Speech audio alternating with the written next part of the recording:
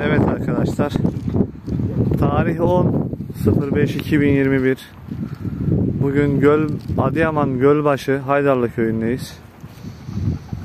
Cafer abimin 10 HP'lik 205 metre olan kuyusunu 42 adet panelle devreye aldık. Panellerimiz burada. Hala çalışmalar devam ediyor. Yeraltı boruları döşüyoruz şu anda.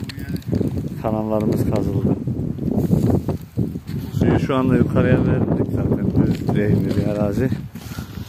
Evet suyumuzu açıyoruz.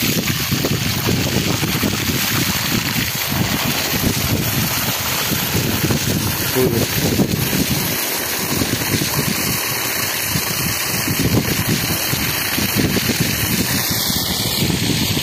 Hayırlı olsun diyoruz.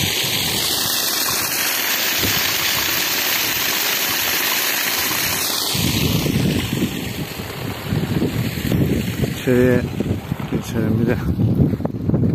Yeni sistemimizi zaten betonlu yaptırıyoruz. Çok rüzgar alan bölgelerde yine betonlu ayaklarda betonlarımız var. Sürücümüz Frikon 11 kahva